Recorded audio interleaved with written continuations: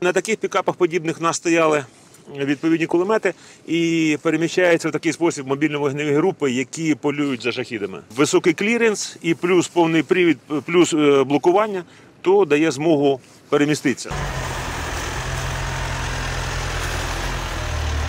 Десять пікапів Міцубіші з двома комплектами гуми придбали українським військовим за кошти міського бюджету у Прилуках. 19 січня автомобілі показали прилуцькому підрозділу територіальної оборони. Військовослужбовці сказали, що таких авто не вистачало ще під час першого відрядження в зону бойових дій на Донбасі. Тоді купляли все самі або з допомогою волонтерів. Представницький орган, міські депутати, вони виконали свій обов'язок і проголосували. Я сприймаю це не як подарунок, друзі.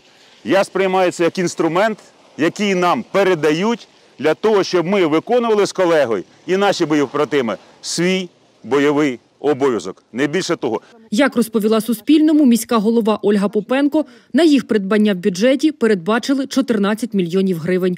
Ще шість автомобілів на суму 6 мільйонів мають приїхати до міста на наступному тижні. Відповідно цільових програм, програм підтримки територіальної оборони е, міста Прилуки і Збройних сил України. Ми придбали необхідну таку техніку. Це машини типу пікап за рішенням тендерного комітету. І, і придбано 16 автомобілів. Попередньо буду говорити так, що територіальна оборона замовляла 6 таких автомобілів. Це саме для наших захисників територіальної оборони міста Прилуки. І 10 автомобілів це прохання для захисту кордонів Чернігівської області. Координацією з міською радою займався військовослужбовець територіальної оборони Андрій. З його слів, придбання пікапів в такій кількості приклад для всіх громад. Наразі ведуться перемовини щодо придбання реп-систем та екскаватора. Зараз Прилуки, ну це ж не секрет, статистика ж вона на прозоро все закупки проводяться. Зараз на першому місці в області. Так?